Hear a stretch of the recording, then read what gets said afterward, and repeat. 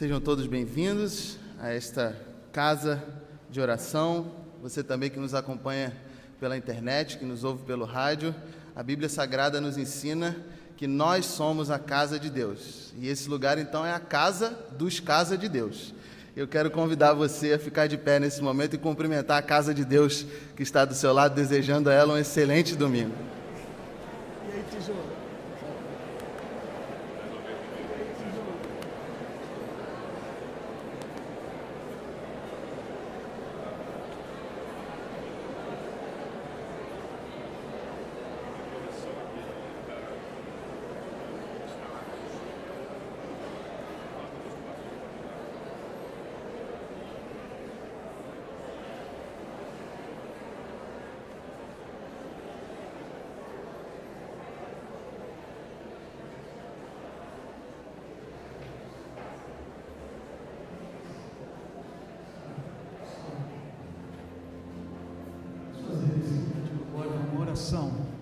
sua oração e ela vai se tornar a oração coletiva da nossa igreja, na medida que juntos, em comunhão, vamos fazê-la. Há um doce espírito aqui. Nós sabemos, verdadeiramente os cristãos sabem qual é o espírito que se encontra aqui.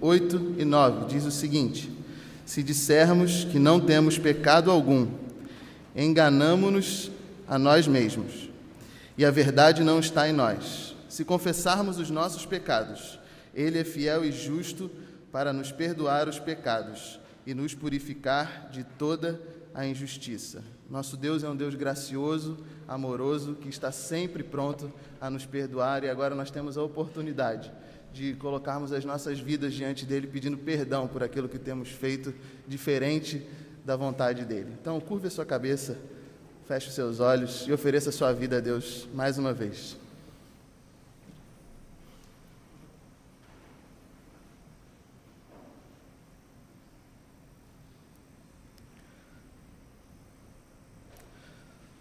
Deus bendito, graças te damos, porque até aqui o Senhor nos conduziu porque até aqui a tua mão esteve sobre nós, nos dando uma semana cheia de bênçãos.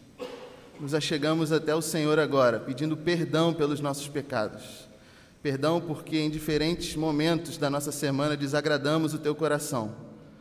Tem misericórdia de nós, Senhor, e nos conduz por obra do teu Espírito de novo ao reto caminho que a tua graça e o teu amor continuem a ser percebidos por nós durante todo esse culto.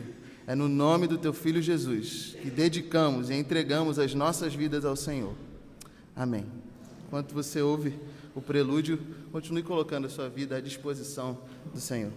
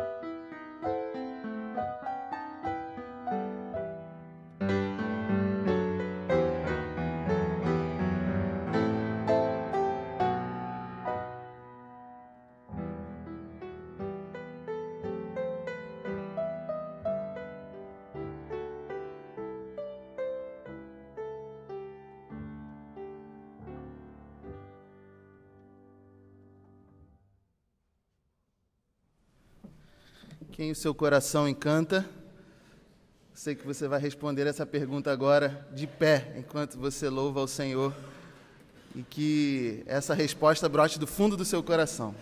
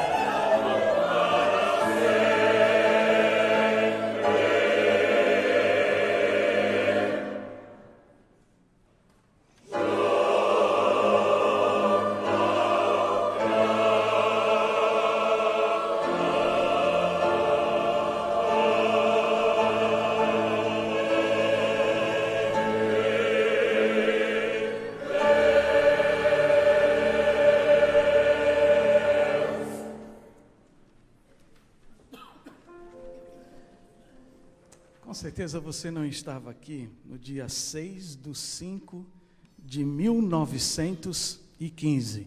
Vou repetir, 6 de 5 de 1915. Nem Ana estava aqui, né? Nem Ana. Ah, irmãos, este coral que está atrás de mim, ou à frente dos irmãos, completa hoje 99 anos de existência. 99 anos de existência uh, um dos primeiros grupos formados para cantar em igreja no Rio de Janeiro, Batista, creio que o primeiro. Uh, nossa igreja é o primeiro coral da igreja. Aliás, durante 47 anos, Ana, esse coro não se chamava Coral Eclésia. Durante 47 anos, este coral chamava-se como, irmãos? Estão lembrados? Coro da igreja coro da igreja. Na época era o único coro da igreja, depois foram surgindo outros grupos e hoje a gente chama de coral eclésia. Coral eclésia. Como é bom, pastor Sorém, bem lembrado aqui pela irmã Ana.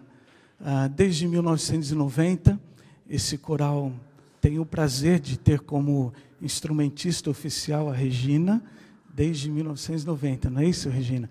E alguns instrumentistas que sempre estão conosco, como o Ângelo de Horto, ao violino, membro de nossa igreja, Antônio Henrique, a Isabel Cristina, Betina, como organista e pianista convidados. Roosevelt, por favor, Roosevelt, levante a mão ali. Roosevelt é o nosso presidente atual. Cadê a Rosane Rosa? Está ali atrás.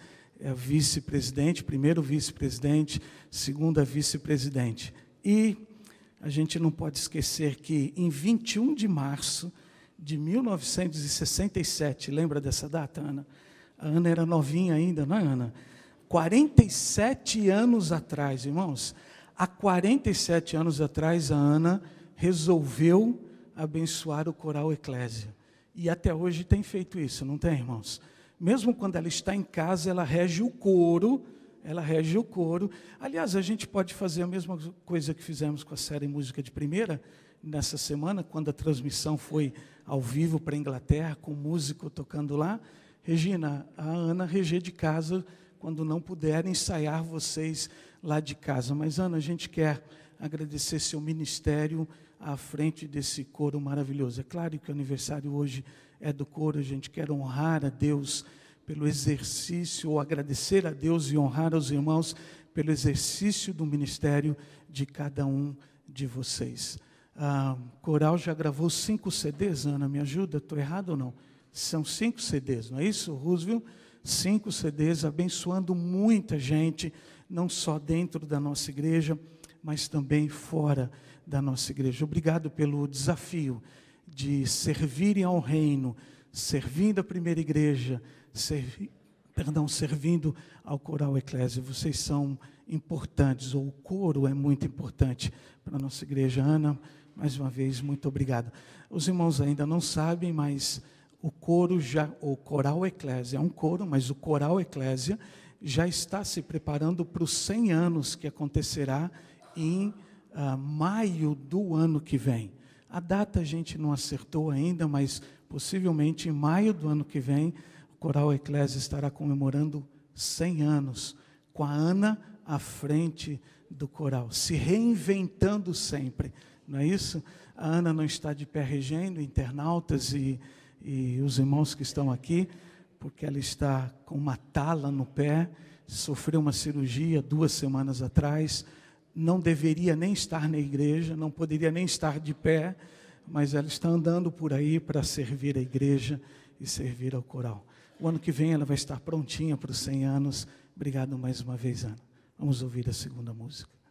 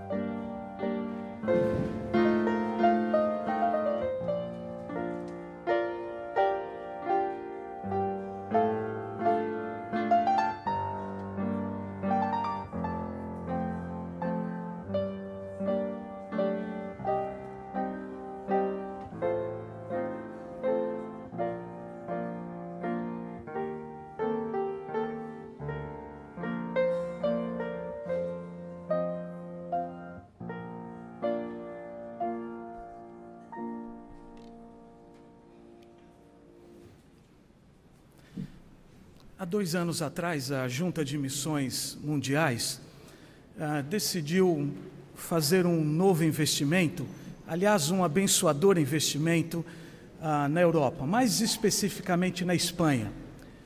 Para lá foi, portanto, nomeado pela Junta de Missões Nacionais, pastor Armando, Catarina, Samuel e Davi, família missionária que já estavam por 11 anos no Chile.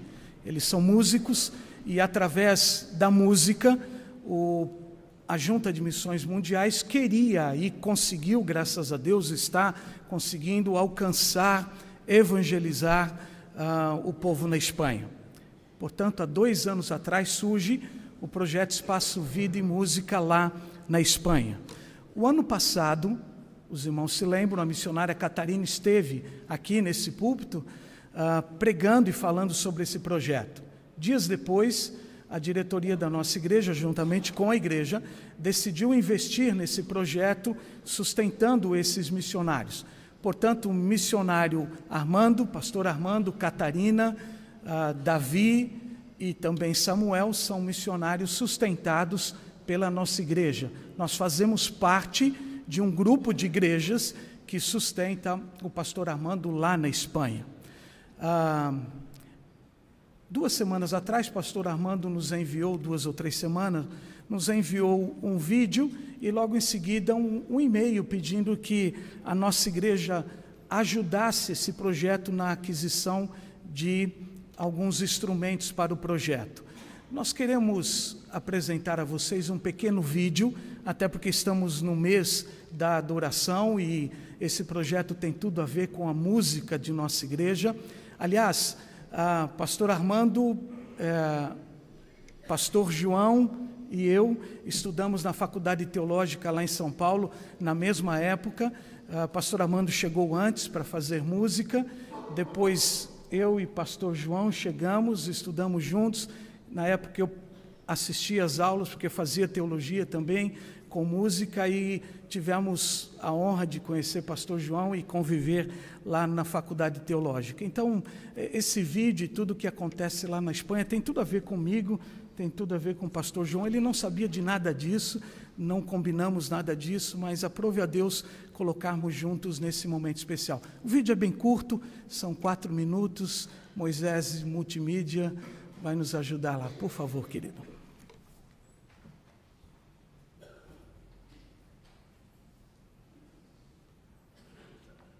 Queridas igrejas do Brasil, querido povo brasileiro, hoje é um dia de festa. Estamos felizes com tudo que aconteceu neste dia. Tivemos hoje o nosso concerto da Semana Santa com muito êxito. Tivemos muitos familiares das pessoas que fazem parte do projeto participando, muitos convidados. Foi um dos concertos, creio que tivemos um número realmente grande de pessoas que não conhecem a Jesus e que estavam ali participando do concerto.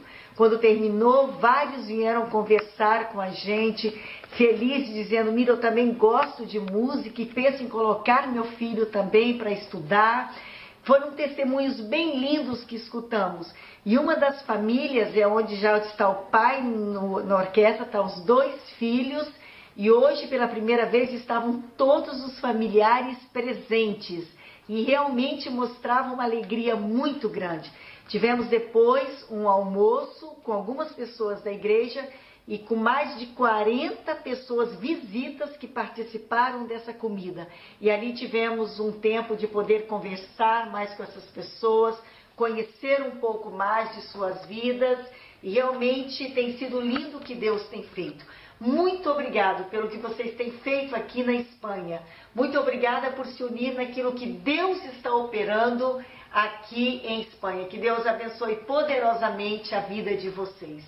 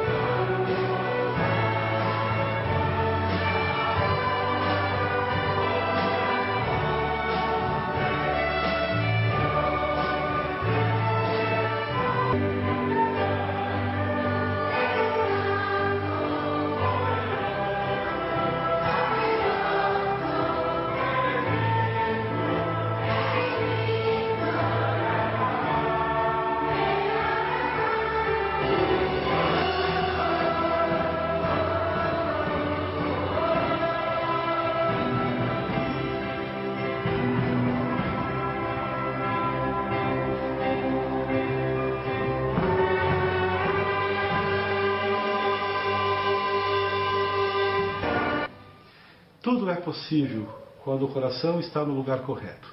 Esse tem sido o lema do projeto Espaço Vida e Música nesse tempo aqui em Espanha. Um projeto que, não temos dúvida, nasceu no coração de Deus. E Deus tem sido realmente aquele que tem sustentado essa obra até o dia de hoje. E hoje foi um dia muito especial, quando pudemos ver mais de 120 pessoas participando juntos, cantando, tocando eh, músicas, eh, tanto músicas religiosas quanto músicas folclóricas. E o mais lindo disso tudo é que mais de 25 pessoas desse grupo, todos que vocês têm visto nos vídeos e nas fotos, são pessoas que ainda não conhecem Jesus.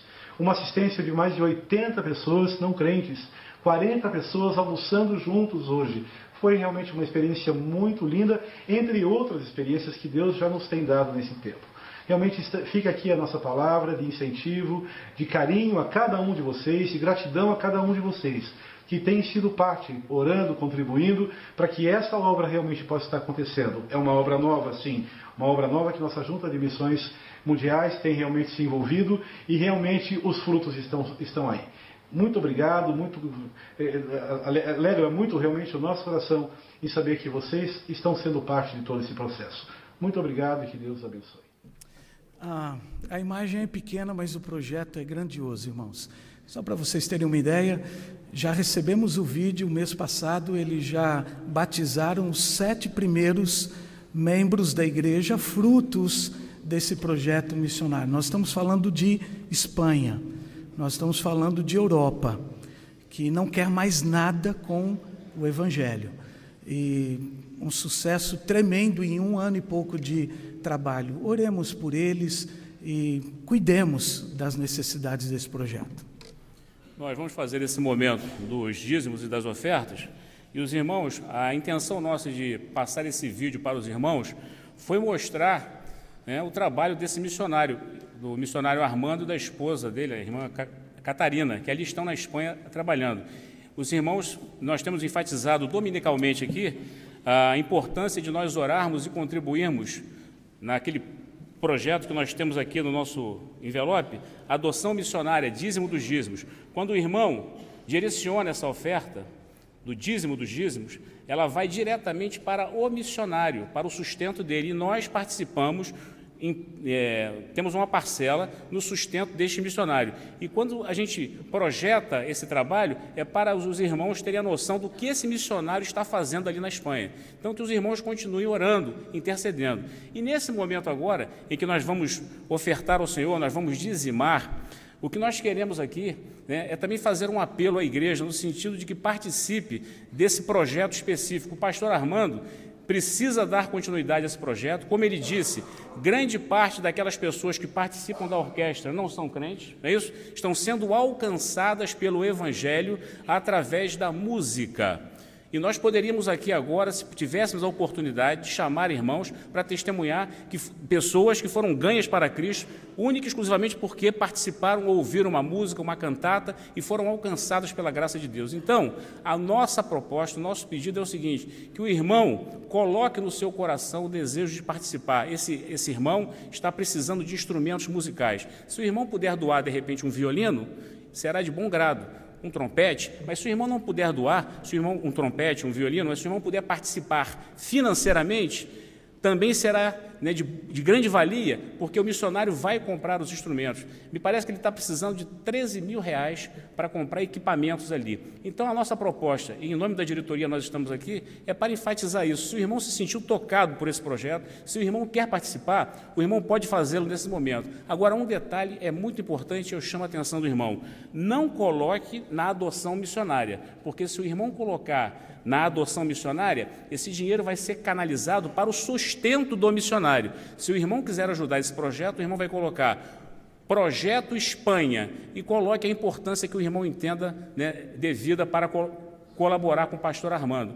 E essa é a proposta. Nós queremos colaborar com esse projeto, queremos participar e a gente agradece a Deus, porque a gente já vê os frutos do que esse missionário tem feito ali na Espanha. É, você sabe, tem conhecimento né, de que é um trabalho difícil, principalmente ali no campo europeu. Então, oremos, participemos e, se você se sentir tocado, você coloque no envelope Projeto Espanha, não dentro do plano de adoção, mas Projeto Espanha, que aí a tesouraria vai saber que você está direcionando a sua oferta para a compra de equipamentos musicais para os nossos irmãos lá na Espanha. Muito obrigado pela atenção.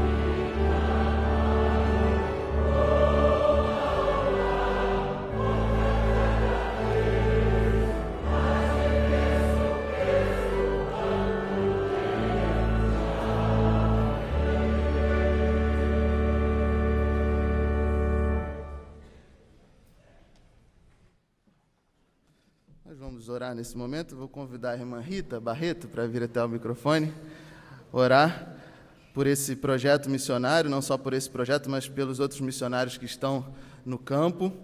E quero também pedir à irmã Rita que ore pelos enfermos da nossa igreja, conforme listados no nosso boletim, e que acrescente a essa oração também, irmã Rita, os adolescentes que estão fazendo vestibular hoje, alguns estão fazendo a prova da UERJ, e nós ontem, alguns jovens, a irmã Rita também, estivemos participando de uma campanha de conscientização contra o abuso sexual infantil e de adolescentes nesse contexto da Copa do Mundo. Os irmãos sabem que muitos turistas virão ao Brasil já com pacotes comprados, incluindo crianças e adolescentes, para serem abusadas. Então, nós participamos ontem ali na Praça Sans Penha de um ato de conscientização e a igreja brasileira tem se mobilizado também para orar por isso. Eu gostaria que a irmã Rita incluísse esse pedido também na sua oração. Vamos orar.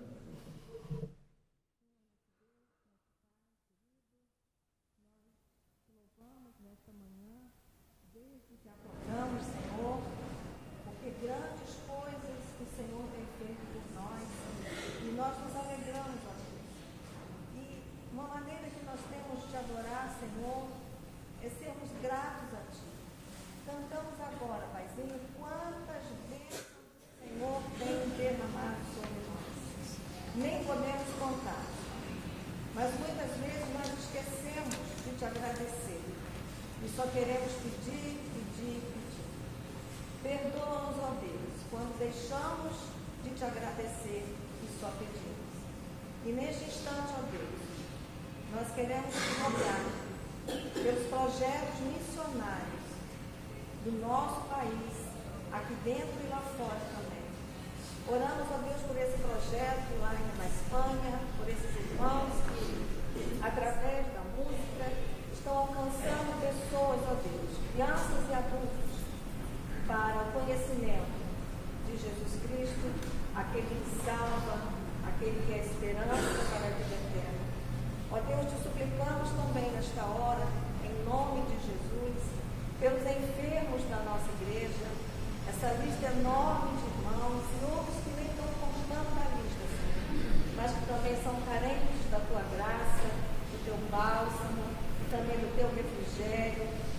sua enfermidade.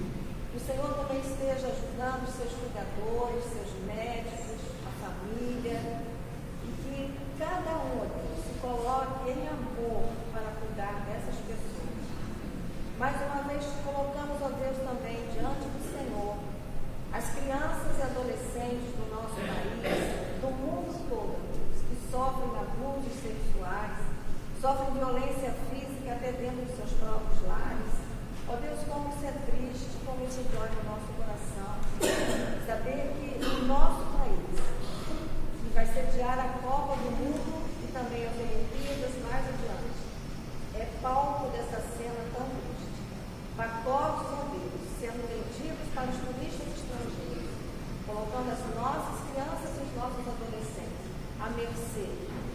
de um tráfico sexual, de uma violência sexual.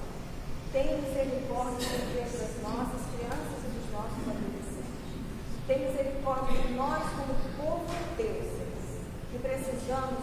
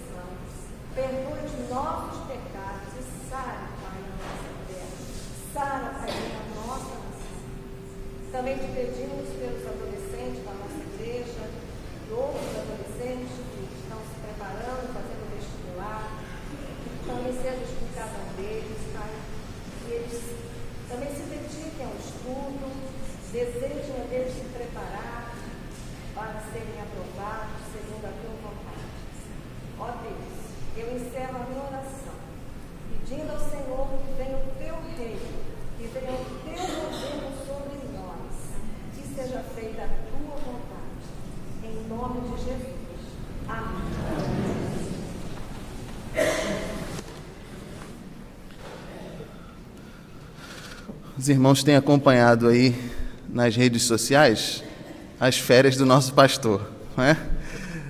Todos os dias ele tem postado algumas fotos por onde ele tem passado e enquanto ele ainda está de férias, irmãos, nós temos tido aqui a oportunidade de ouvir outras pessoas, outros pastores que têm nos edificado com a sua mensagem. E hoje nós vamos ouvir o pastor João Marcos Barreto Soares, que é o executivo da Junta de Missões Mundiais. Eu quero chamar pastor João Marcos aqui, é, que tem trabalhado junto com a sua equipe para que a semente do Evangelho seja espalhada em outros contextos que não em solo brasileiro. Então, nós vamos orar agora pela vida dele. Curva sua cabeça, feche seus olhos e peça ao Senhor que fale com você nesse momento. Deus bendito, muito obrigado por tudo quanto já experimentamos aqui da tua presença. Obrigado porque aqui cantamos louvores ao teu nome. Obrigado porque aqui ofertamos os nossos bens e as nossas vidas. Obrigado porque aqui pedimos perdão pelos nossos pecados, na certeza de que o Senhor nos ouve e nos perdoa. E agora, Senhor, especialmente pedimos que o Senhor nos fale através da exposição da tua palavra.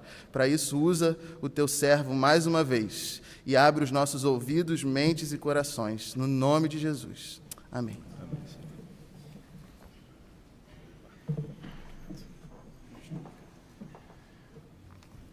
Eu agradeço a Deus a oportunidade de estar mais uma vez com os irmãos e irmãs nesta igreja para adorar ao nosso Deus, para celebrar um culto de adoração a Ele.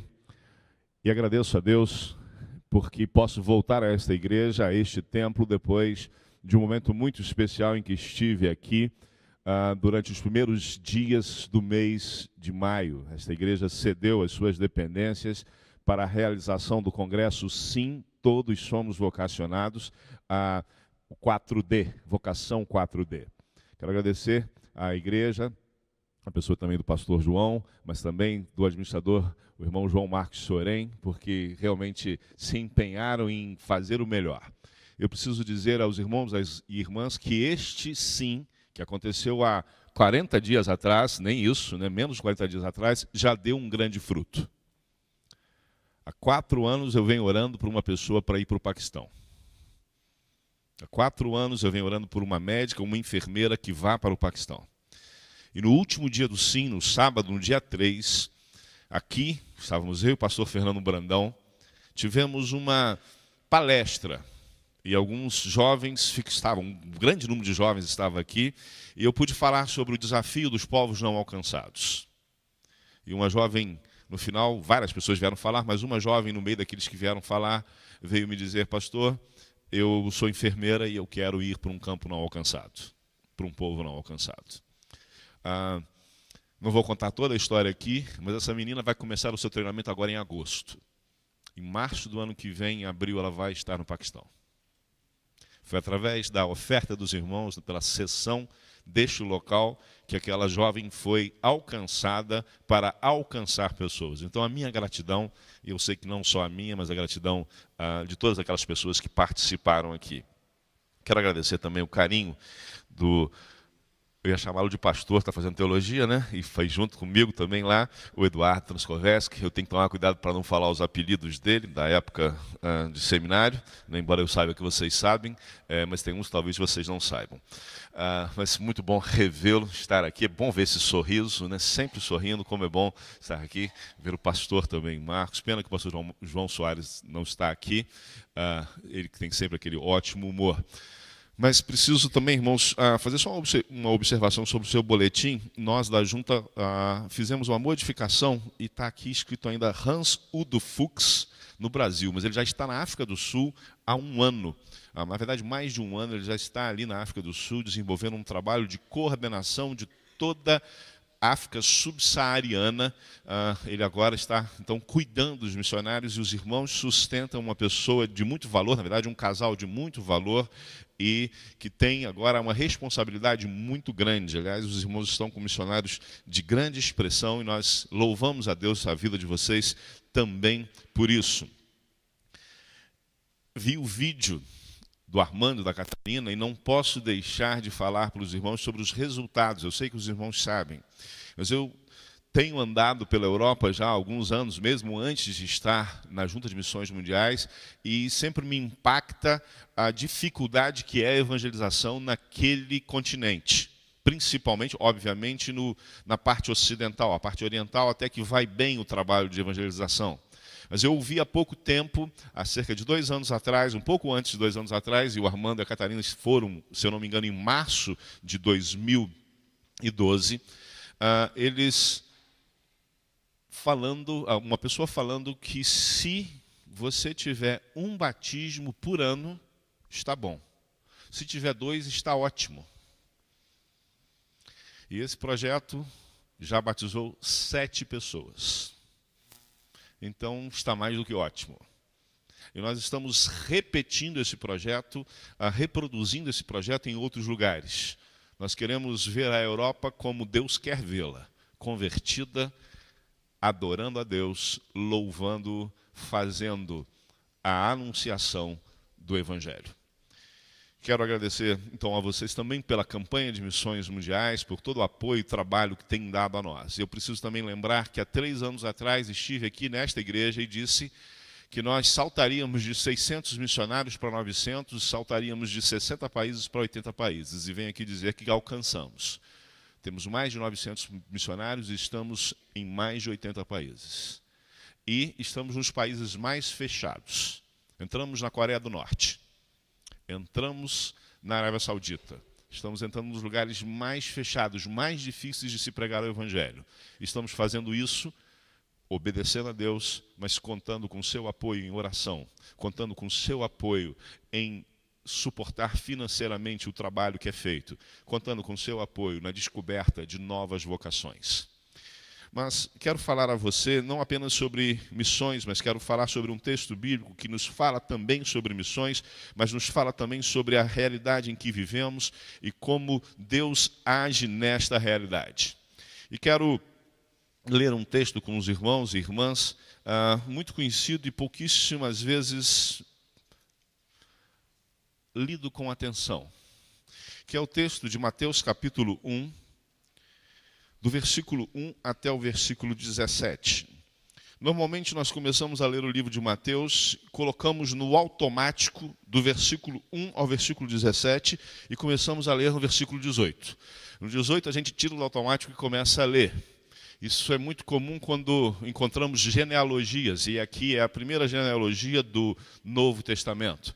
Quero convidar você a ler este texto, prestando atenção nos nomes, nas pessoas e em alguns outros dados que temos aqui, para compreendermos mais sobre o projeto de Deus para a humanidade e como ele faz para realizar o seu projeto. Diz assim o texto bíblico. Livro da genealogia de Jesus Cristo, filho de Davi, filho de Abraão. Abraão gerou Isaac, Isaac gerou Jacó, Jacó gerou Judá e seus irmãos. Judá gerou de Tamar, Farés e Zará. Faré gerou Esrom, Esrom gerou Arão, Arão gerou Aminadab, Aminadab gerou Nazon, Nazon gerou Salmão, Salmão gerou de Raabe Boaz, Boaz gerou de Ruth Obed, Obed gerou Jessé, e Jessé gerou o rei Davi. Davi gerou daquela que havia sido mulher de Urias, Salomão. Salomão gerou Roboão, Roboão gerou Abias, Abias gerou Asa, Asa gerou Josafá, Josafá gerou Jorão, Jorão gerou Osias, Osias gerou Jotão, Jorão gerou Acás, Acás gerou Ezequias, Ezequias gerou Manassés, Manassés gerou Amon, Amon gerou Josias, Josias gerou Jeconias e seus irmãos na época do exílio da Babilônia. Depois do exílio na Babilônia, Jeconias gerou Salatiel, Salatiel gerou Zorobabel, Zorobabel gerou Abiúde, Abiúde gerou Eliakim, Eliakim gerou Azor, Azor gerou Sadoc, Sadoc gerou Aquim, Aquim gerou Eliúde, Eliúde gerou Eleazar, Eleazar gerou Matã, Matã gerou Jacó, Jacó gerou José, marido de Maria, da qual nasceu Jesus, chamado Cristo. Assim, todas as gerações de Abraão até Davi foram 14. 14. De Davi até o exílio na Babilônia, 14. E do exílio na Babilônia até o Cristo, 14. Isso é quase um rap, né? Para ler. Der isso na mão num, num rapper, ele transforma numa dessas músicas aí com essa batida. Mas você sabe que é isso mesmo? A ideia aqui é ritmo. Os, a poesia hebraica não tem rima. A poesia hebraica tem ritmo. E a ideia de quem escreve é fazer uma poesia. Então ele vai construindo isso. Porque isso era para ficar na cabeça da pessoa. Era para as pessoas guardarem. Quantos textos bíblicos eu sei, porque quando eu era criança, minha mãe fez uma música para eu aprender. Ou linkou com uma figura para eu aprender. Alguns desses textos bíblicos salvaram a minha vida. Um dia eu posso contar isso é para ficar na memória. Esse texto é muito rico. Se fôssemos falar sobre cada pessoa que está aqui, teríamos que usar todo o Antigo Testamento, ou quase todo. Mas eu quero falar basicamente sobre o que este texto se propõe. Esse texto é a introdução do Evangelho de Mateus. Aquele discípulo de Jesus que viveu com ele aqueles três anos, cerca de três anos, e que se propunha a mostrar Jesus como Messias, mostrar aos judeus que Jesus era o Messias, que ele era o Cristo, que nele havia sido realizada a promessa de Deus para Israel. Então, ele começa mostrando que Jesus é a, o cumprimento da promessa feita a Abraão e reafirmada a Davi. A promessa de que Deus salvaria a humanidade. O objetivo desse texto é mostrar que, da descendência de Abraão, como prometido, todo o mundo, todas as nações seriam benditas. É mostrar que, como prometido a Davi, sempre haveria uma pessoa da sua descendência no trono. E Jesus está no trono. Mas para que isso acontecesse, para que o seu projeto, projeto de Deus, para que o projeto de Deus acontecesse, Deus utilizou diversas coisas. Nesse texto eu consigo ver três coisas que ele utilizou. Eu quero compartilhar com você um pouco sobre essas três coisas e como nós devemos entender na nossa vida a utilização dessas três coisas. E começo pelo final, porque o texto diz: Assim todas as gerações de Abraão até Davi foram 14, de Davi até o exílio na Babilônia, 14, e do exílio na Babilônia até o Cristo, 14. A primeira coisa que quero destacar que Deus usa para fazer a sua vontade é tempo.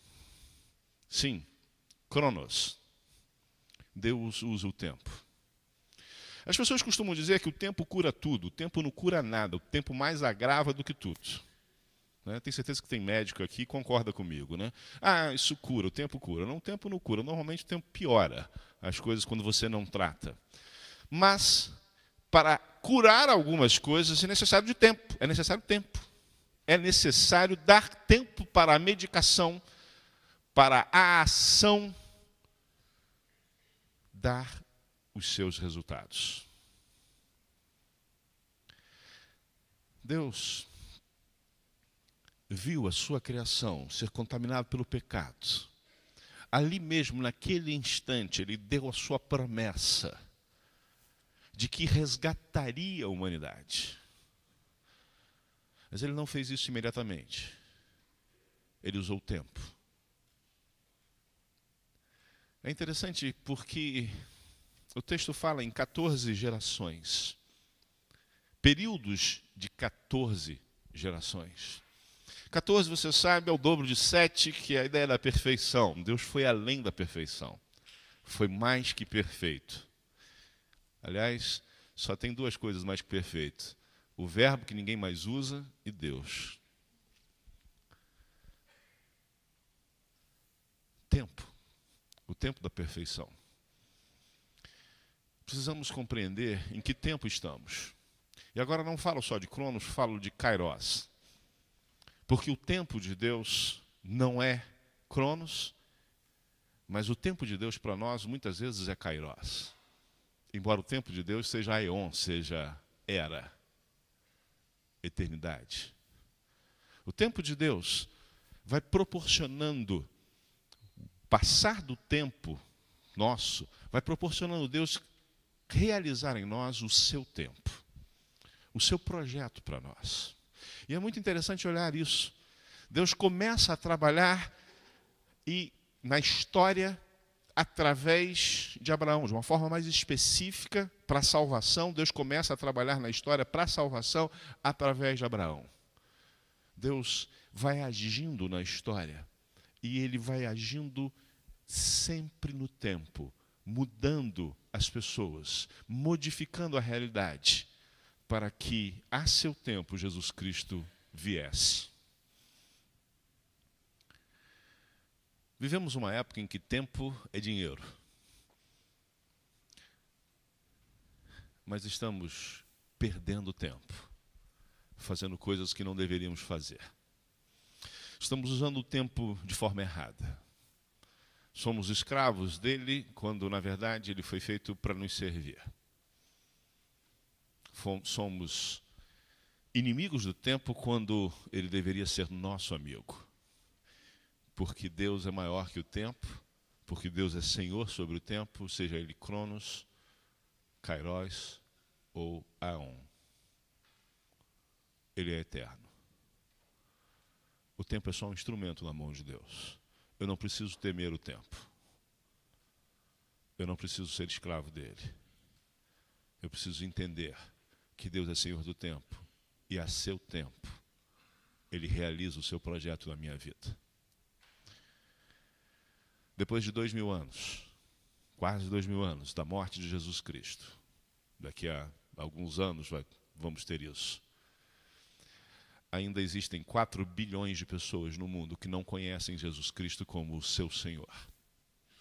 Na verdade, não conhecem a mensagem de Jesus Cristo que é Senhor. Os que conhecem como Senhor é um número muito pequeno. Nós não temos aproveitado o Cronos como nós deveríamos. Mas agora vivemos um Kairos, um tempo muito interessante. O tempo em que brasileiros são bem-vindos no mundo. Isso é uma coisa muito interessante, irmãos, porque eu tenho falado isso, talvez eu tenha falado isso aqui das últimas vezes que estive. Ah, meu pai é um sujeito que conhece aí mais de 60 países no mundo. E ele era, ele era considerado uma personalidade, uma figura pública da minha cidade também por causa disso. Porque ninguém conhecia o mundo como ele. Porque naquela época só tinha dois tipos de gente que viajava pelo mundo: ou rico ou doido. E meu pai não se encaixava em nenhuma das duas coisas. Se bem que pastor sempre é doido, né? Ah, ninguém viajava. Hoje é impressionante como você encontra brasileiro. Aliás, é fácil achar uma mulher brasileira, saber se a mulher é brasileira. É só ver se ela está cheia de sacola na mão. Mas como compram, gente? E o homem brasileiro é fácil, é o cara que está atrás dela carregando mais sacolas. Mas é impressionante.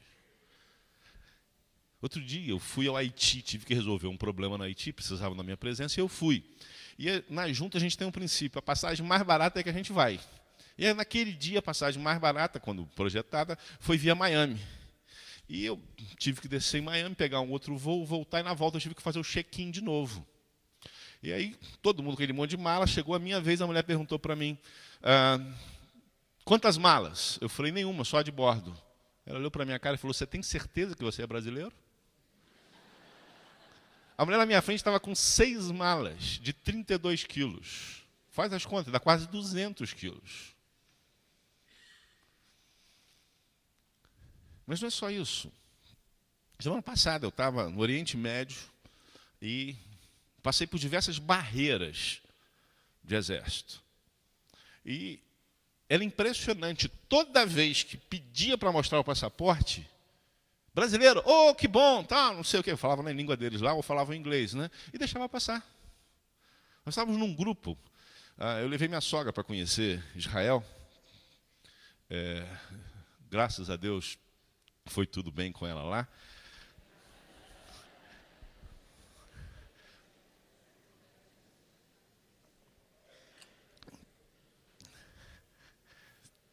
Mas ela, na verdade, não, eu, eu tinha que ir ao Oriente Médio, falei para minha esposa que queria levar minha esposa, minha esposa falou assim, ó, precisa levar minha mãe. Minha mãe sempre quis ir e nunca deu para ir, então vai. E foi, ela tem 83 anos, é jovem, correu, corria lá, eu tinha que gritar com ela, para de correr, senão ela vai cair aí, vai se machucar, vai morrer, e os seus filhos vão achar que fui eu.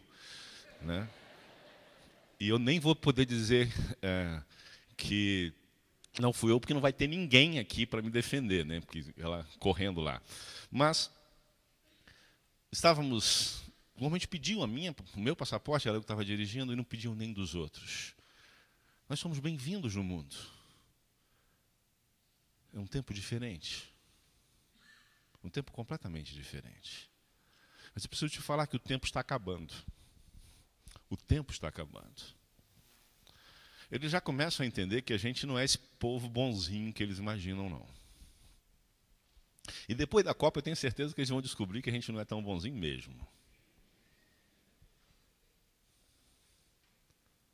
Nós precisamos fazer um esforço para aproveitar esse tempo para fazer o que Deus quer que façamos alcançar todos os povos que faltam para que nós vejamos a volta de Jesus Cristo e nós o adoremos, como descrito no livro de Apocalipse, pessoas de todas as tribos, povos, raças e nações, reconhecendo que digno é o Cordeiro de ser adorado.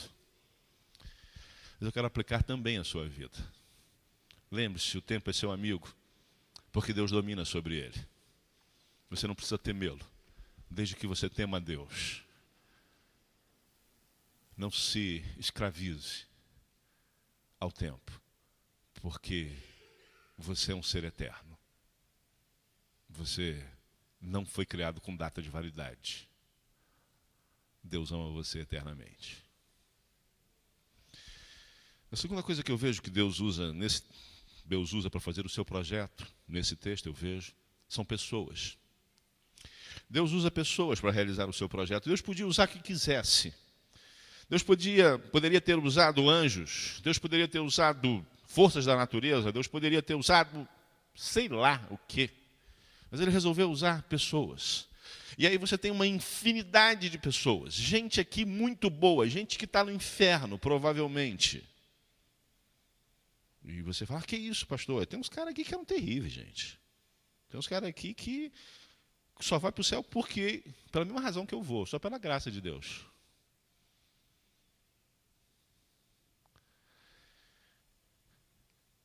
Mas eu quero te mostrar assim, as pessoas que têm aqui. Eu vou falar das mulheres, tá? Desculpem mulheres, mas tem menos mulher aqui do que homem, então fica mais fácil falar das mulheres. As cinco aqui são mal faladas. A primeira, Tamar. As cinco são, de certa forma, forasteiras do lugar onde estavam.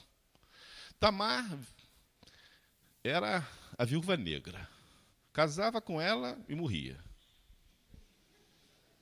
Casou com o primeiro, não teve filho, morreu. Casou com o irmão, o segundo irmão, o irmão não teve, ela não teve filho com o irmão também, morreu. Aí Judá falou: não, não vou dar meu filho mais novo de jeito nenhum. Essa mulher é uma devoradora de homem, vai acabar com a minha família. Aí ela foi, se fantasiou de prostituta. Gente, a, a Bíblia é um negócio de doido. Esse livro aqui é um negócio impressionante. Isso aqui é pior, é mais real do que o cortiço aquele famoso livro do realismo, né? Ele descreve todas as desgraças do ser humano e como o ser humano faz qualquer maluquice para fazer os seus projetos. Eu digo que é ótimo não ter vivido nessa época, porque senão todo mundo saberia meus podres. Porque se você aparece na Bíblia e não é Jesus Cristo, se tem mais do que três páginas sobre você, tem algo errado que você fez. Tamar, é é uma mulher que faz qualquer maluquice para obter sua vitória. Aí depois dela vai aparecer Raabe. Raabe é prostituta cultural. Vive no muro.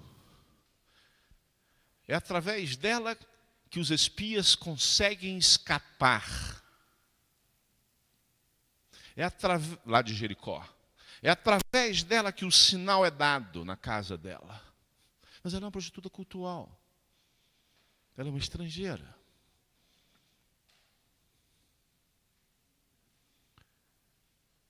Depois dela, nós temos Ruth. Ruth também é estrangeira. E é talvez a pior de todas, porque ela é moabita. E moabita era o povo odiado, porque são descendentes de Esaú. E é o povo que não deu passagem para Israel. E ela tem um comportamento estranho.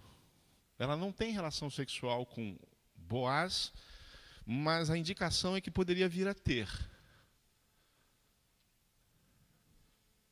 Aí vem uma que eles nem falam o nome. A gente sabe porque a gente conhece a Bíblia, Batseba. Porque diz o texto assim: Davi gerou daquela que havia sido mulher de Urias, Salomão. Nem fala o nome dela. Olha a raiva que esse povo tem nessa mulher. Nem menciona o nome. ela também é estrangeira, ela também, ela é, seu marido é eteu. Qual é o feminino de eteu? Eteia? Não sei. Ela, mas ela não é dali também. Aí vem Maria. Maria não é estrangeira, mas Maria vai ter o seu filho em Belém. Maria também tem suspeitas. Para quem não conhece a Bíblia, para quem não aceita a Bíblia, também havia suspeitas sobre o seu comportamento sexual. Por que eu estou falando isso? Porque eu sou um louco por isso? Não. Para te dizer o seguinte: não interessa as besteiras que você fez na vida, não interessa as bobagens que você fez na vida, não interessa o seu passado, interessa que Deus quer usar você. Aqui teve um monte de mulher que foi santa, que viveu Abraão. Abraão, a sua esposa, Sara, é considerada um símbolo da santidade feminina. O apóstolo Pedro fala sobre ela na sua carta. Nós temos muitas mulheres santas que passam nessa história toda. Mas eu falei essas cinco que aparecem aqui para te dizer: não interessa de onde você vem, não interessa o que você fez, não interessa o quão ruim você é, o quão grave é o seu pecado, Deus quer usar você. Deus usa pessoas. Deus usa pessoas. E quando ele viu você aceitar o filho dele como o senhor da sua vida, ele quis usar você, ele quer usar você. E não interessa o que você pensa que é, porque ele sabe quem você é. Ele é a pessoa que você, que ele, você é a pessoa que ele quer usar cada um de vocês. Eu, você, cada um de nós, somos as pessoas que Deus quer usar. Nenhum de nós é perfeito. Mas Deus faz o seu trabalho de forma perfeita através de nós. Pessoas. Esse é o meu grande desafio em missões mundiais. Pessoas. Se Bill Gates desse um bilhão de dólares para as missões mundiais, eu ia agradecer muito a ele. Ia agradecer muito. Mas ele não resolveria o problema de missões mundiais. Porque o que nós precisamos são de pessoas. Tenho certeza que se desse um bilhão de dólares para essa igreja, também agradeceriam muito a ele. Mas tenho certeza que não resolveria o problema dessa igreja. o problema dessa igreja eu não a conheço direito, mas tenho certeza são pessoas. Precisamos de pessoas que sirvam, pessoas que se disponham, pessoas que se entreguem, pessoas que sejam usadas por Deus. Pessoas. E eu preciso te falar sobre isso, sobre pessoas que estão fazendo diferença no mundo. Pessoas que estão fazendo diferença no mundo. Talvez você não se lembre então, permita-me falar um pouco para você o que aconteceu no Irã no final da década de 70. Houve uma revolução e os islâmicos tomaram conta do país. E aquele país fechou-se para o cristianismo. Naquela oportunidade havia cerca de 500 evangélicos naquele país. E as pessoas pensaram: acabou, não vai ter mais nada. Agora não tem mais jeito. Mas Deus está agindo no Irã. Deus está agindo no Irã. Eu teria inúmeras, inúmeras não, eu tenho umas 15 histórias para te contar sobre o Irã, não vai dar para contar, vou contar algumas rapidamente. Mas eu conheci uma jovem. Minha esposa chorou no seu testemunho, quando ouviu. Aquela jovem morava num país ao lado, ela tinha conseguido sair do Irã, porque o sonho das pessoas, da maior parte dos jovens, é ir embora do Irã, porque não tem muita oportunidade de trabalho. E ela já havia se convertido, ela estava naquele país ao lado, desenvolvendo um ministério, mas o sonho dela era ir para os Estados Unidos. E ela aplicou o visto, como se diz. E era certo que ela conseguiria o visto, era só questão de tempo. Mas Deus começou a incomodá-la para ela voltar para o Irã. E ela foi conversar com os líderes. Nós temos uma parceria com esta organização que ela trabalha. Ela conversou com os nossos parceiros, e eles disseram: só Deus pode te dar a resposta, se é isso mesmo ou não. Mas o que você fizer, nós vamos te apoiar. E aquela jovem orou um pouco mais e entendeu que deveria voltar e voltou para o Irã.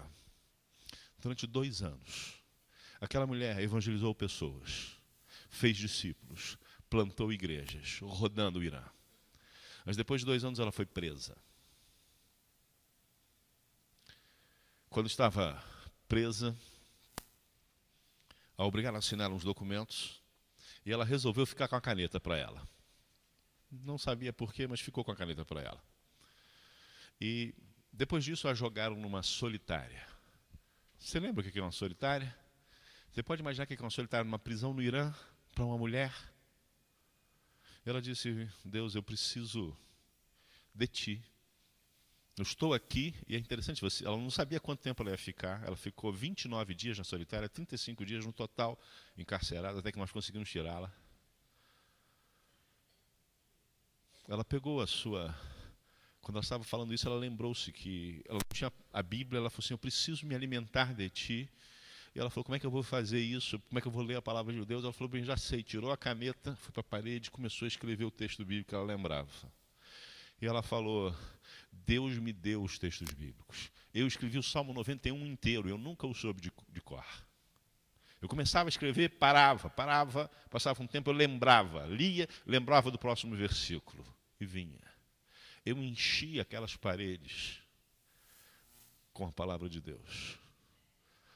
Quando finalmente ela foi liberta e foi tirada, foi tirada do país, ela hoje vive fora daquela aquela realidade. Eu perguntei a ela: se arrepende? A pergunta idiota que todos nós fazemos.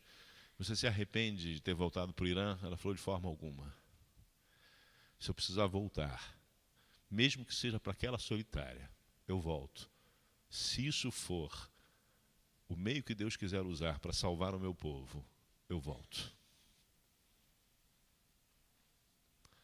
Precisamos de pessoas assim pessoas que sejam impulsionadas pelo amor de Deus, que não olhem circunstâncias, que não tenham medo,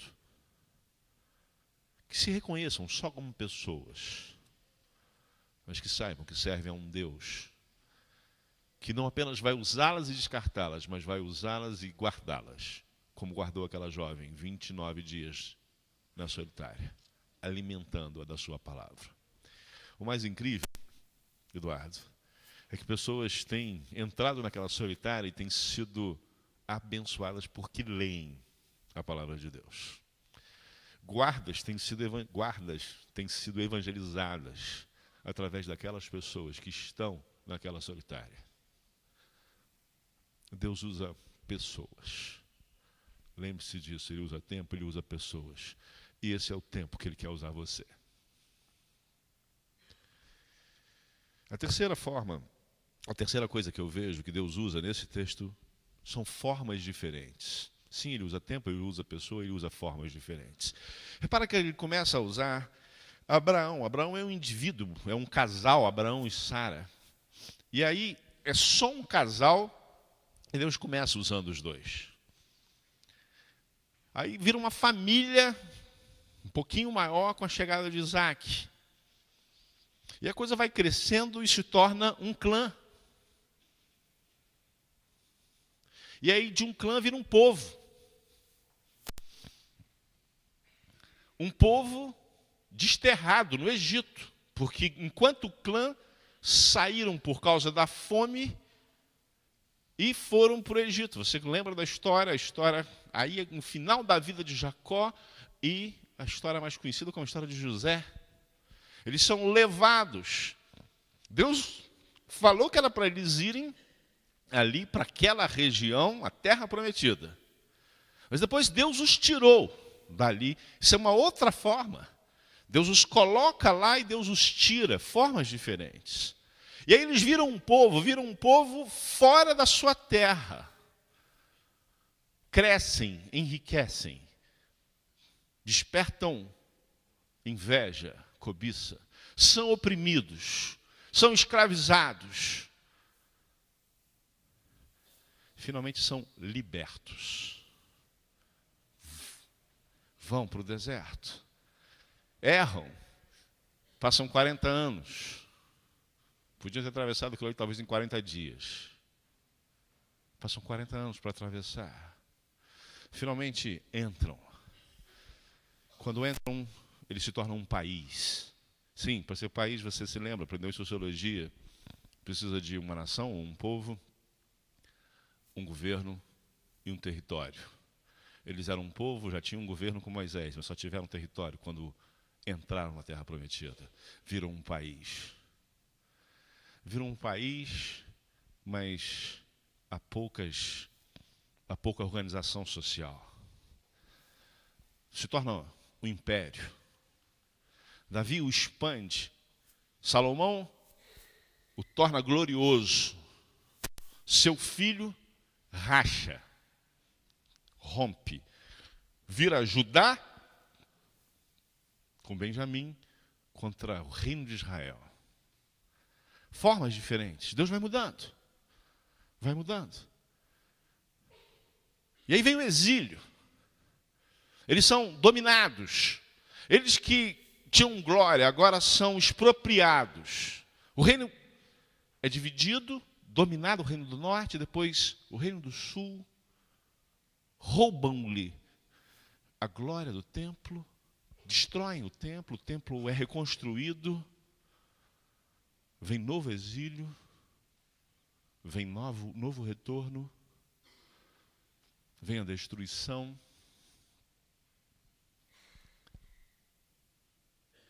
completa do Reino do Norte. O povo se perde. E aí volta a se falar de um casal. José, Maria. E Deus usa o casal, como havia usado Abraão e Sara. E Deus usa uma criança para realizar o seu projeto. Usa formas diferentes, lugares diferentes para fazer a sua vontade.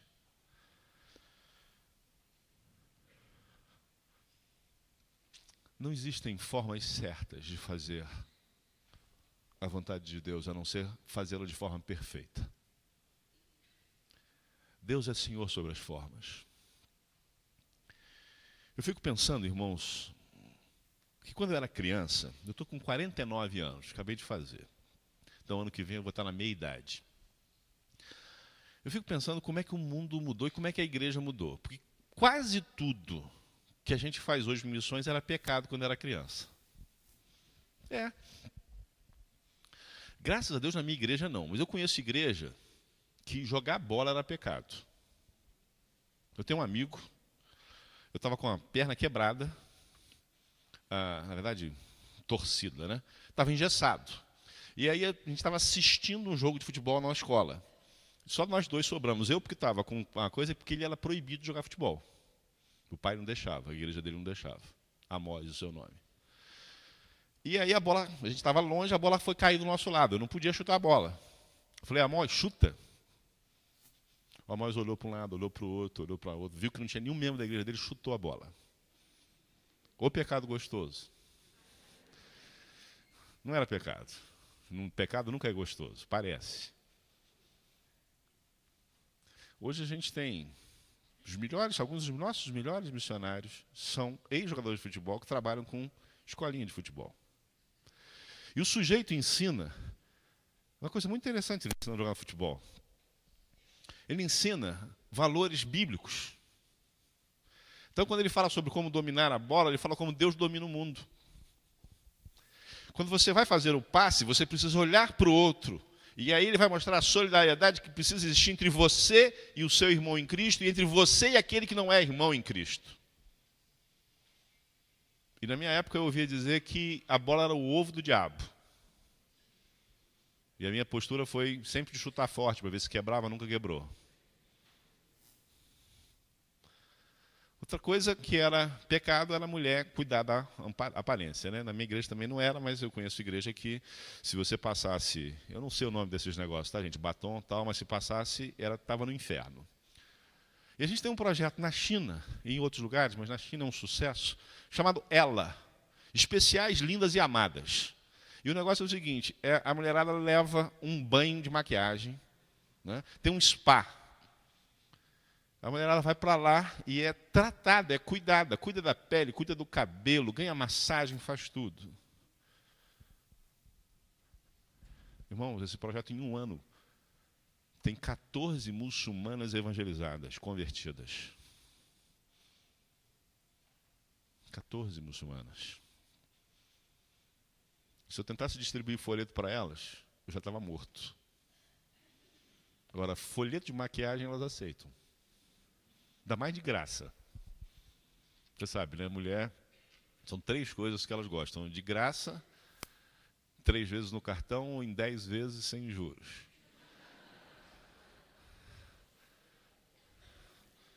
Diz que mulher tem medo de barata porque ela é inimigo do bar, é, é, mulher do barato, né? Elas gostam de caro. Mas é brincadeira, as mulheres são fantásticas, graças a Deus por elas. A vida seria uma desgraça sem elas completa e Adão é a prova disso. E tem que se cuidar mesmo, tem que se arrumar mesmo, porque ah, vocês representam a glória de Deus. Vocês são belas como Deus ah, é belo. Outra coisa que na minha época de criança era pecado era brigar. Ainda continua, mas agora o pessoal ganha para brigar e não é pecado, né? Luta, eu quis fazer luta. Aí sim, aí foi problema para mim. Eu quis fazer judô. Eu bati em todo mundo que eu podia. Então eu falei, vou fazer judô porque aí eu vou me controlar. Aí disseram, vai, vai controlar nada, não me deixaram. Agora a gente tem gente, eu tenho um, tenho um missionário nosso, ele está um dos países mais fechados do mundo. Ele é professor de jiu-jitsu. Ele teve aqui, né? Aquele cara é ótimo, ele imobiliza o sujeito e pergunta: quer aceitar Jesus Cristo ou quer ficar sem seu braço? É óbvio que ele não faz isso. Mas ele tem relacionamentos. Irmãos, no país dele, eu conheço um missionário que está lá há 40 anos, não tem dois convertidos. Com ele tem 22 em 4 anos. Usando jiu-jitsu. Tem outro que usa capoeira. Eu soube que tem um mestre em capoeira aqui, não é isso? O, se eu fosse pastor da igreja, você ia ser meu diácono de segurança, ia andar do meu lado. Usamos capoeira. Mas na minha época, ai do sujeito que desse aquela balançada, estava na rua, excluído. Não pode lutar capoeira. Televisão. Televisão, alguém disse na minha época que era o bezerro de ouro com a barriga aberta na sala. Nós temos um trabalho fantástico em São Tomé e Príncipe, que agora está indo para Guiné-Bissau, com a nossa missionária. Um projeto chamado Reviravolta. Formas diferentes. Não deixamos, irmãos, de distribuir folhetos, não deixamos de pregar na praça, não deixamos de fazer nada daquilo que fazemos. Continuamos fazendo. Mas as formas mudam. Onde não é possível usar as antigas, precisamos usar as novas. E eu preciso falar para você sobre isso porque vocês vão ouvir algumas maluquices que a gente está fazendo. Mas eu quero que você saiba que essa maluquice não sai da minha cabeça, nenhuma delas, eu não sou criativo para isso. Mas nosso Deus é criativo. Nosso Deus é tão criativo que nos criou. E nós somos tão parecidos, ao mesmo tempo tão diferentes. E Ele é o Deus da multiforme graça da graça de muitas formas diferentes formas. Mas é sempre sinal de graça. Sempre sinal de graça. A forma de Deus atuar nunca é de desgraça. Se não promove a graça, não é de Deus. Se não promove o amor, não é de Deus. Mas quando é de Deus, promove a sua graça. Eu preciso falar a você sobre. Eu não sei se esteve aqui o projeto da Índia, o rapaz da Índia passou aqui, não. Eu quero falar para você sobre um projeto que nós temos falado, nós temos feito, que é um projeto que tem a ver com o que foi dito aqui sobre essa questão de exploração de crianças. Nós temos um, uma realidade muito triste na Índia, em diversos lugares do mundo, mas especificamente na Índia. Quantos se lembram aqui, no início do ano teve aquele estupro coletivo na Índia, lembram, lembram disso? Início do ano passado, né? O, Vamos lembrar um pouquinho rapidamente o que aconteceu ali.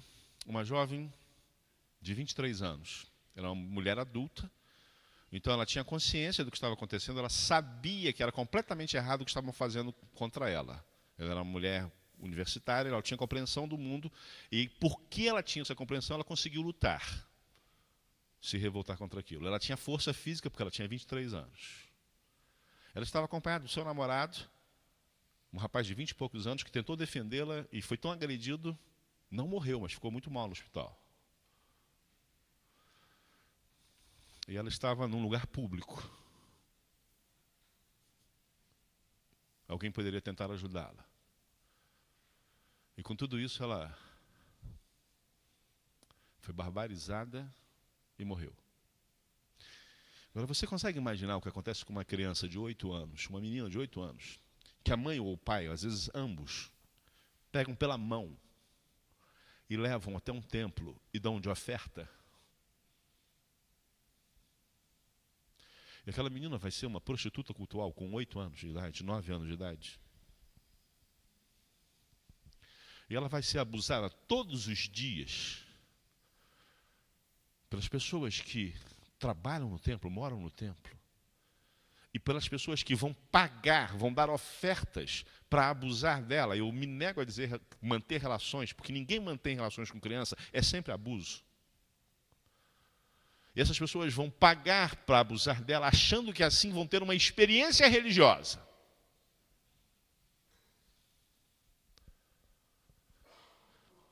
Ela não tem idade, força física para se defender. Ela não tem compreensão do mundo, que aquilo que está agindo com ela é errado.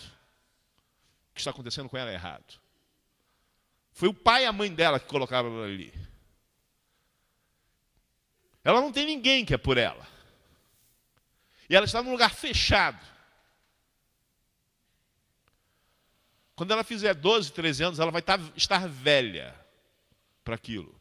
Aí aquelas pessoas que a receberam como oferta vão levá-la para o centro de uma cidade grande como Mumbai e vão vendê-la como prostituta.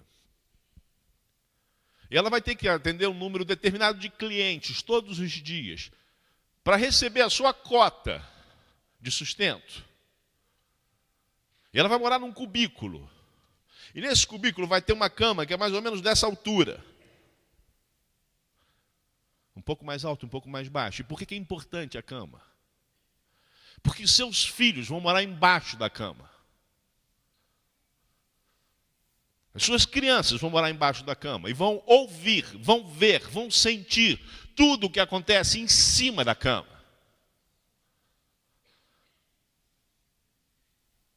Só isso já estraga a vida de quem está embaixo da cama. Mas se for uma menina, quando ela fizer 10 anos, 11, 12 no máximo, ela vai ser vendida para prostituição. E o ciclo vai se repetir.